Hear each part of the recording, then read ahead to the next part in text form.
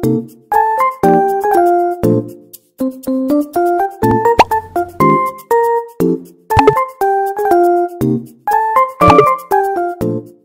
අපි අවුරුද්දට අඩු වැඩි බපාලට රසවත් පෑන්කේක් එකක් හදන විදිහ බලමු. ඉතින් මේක හරිම පෝෂණීයයි. වෙනද වගේම අවශ්‍ය අමුද්‍රව්‍ය ඩිස්ක්‍රිප්ෂන් බොක්ස් එකේ සඳහන් වෙනවා.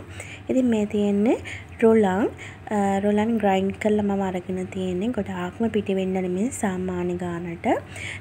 රුලන් කෝප භාගයකට බේකින් පවුඩ තේ හැඳි අටෙන් එකකටත් අඩුවෙන් මං එකතු කරගත්තා. ඒ වගේ මම එකට අවුරුද්දට වැඩි බබෙක් ඉන්න හින්දා ලුණු කුඩු ටිකක් එකතු කරගන්නවා. ඒ වගේම සීනි ටිකකුත් එකතු කරගන්නවා. මේවා රස අනුව එකතු කරගන්න. ඉතින් අවුරුද්දට අඩු බබෙක්ට ඔයාලා මේක හදනවා නම් බේකින් පවුඩර් එකතු කරන්න එපා. ඒ වගේම ලුණු සීනි එකතු කරගන්නත් එපා.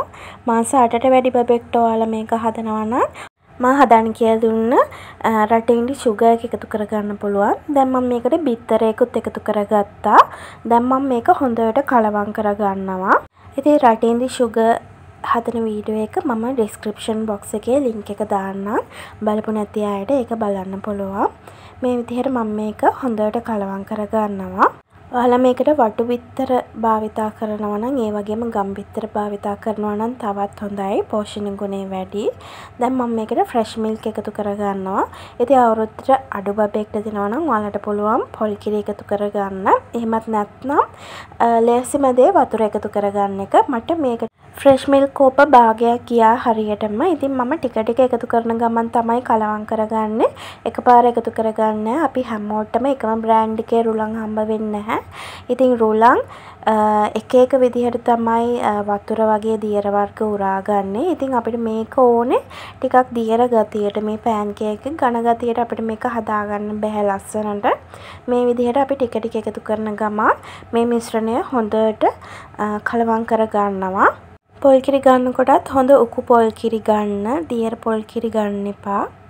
දැන් මම මේක කෝප් එකට මාරු කරගන්නවා අපිට පෑන් කේක් එක හදාගන්න ලේසි පෑන් එකට දාන්න පුළුවන් එකකට. ඊට පස්සේ මම සාමාන්‍ය විදිහටම පෑන් එකක් රත් වෙන්න තියලා ඒකට බටර් ටිකක් ගාලා පෑන් කේක් ටික හදාගන්නවා. ඉතින් මෙතන විශේෂයෙන් කියන්න ඕනේ අපි බැටර් එක පෑන් එකට දැම්මට පස්සේ පොඩි වෙලාවක් වහලා තියාගන්න ඕනේ. තප්පර 30ක් වගේ වහලා තමයි මේක අපි බැදෙන්න දෙන්න. එතකොට මේක චුට්ටක් ඉසිලා ලස්සනට පෑන් කේක් එක හැදෙනවා. අපි බේකින් පවුඩර් ටිකක් එකතු කරන හින්දා මේක ඇමරිකන් පෑන් කේක් ටයිප් එකට තමයි හදාගන්න හම්බ වෙන්නේ අපිට. මේ විදිහට ඊට පස්සේ අනිත් පැත්ත හරවලත් මේක හොඳට අපි රත් කරගන්නවා. දැන් මගේ පෑන් කේක් ටික මම මේ විදිහට ඔක්කොම හදාගත්තා.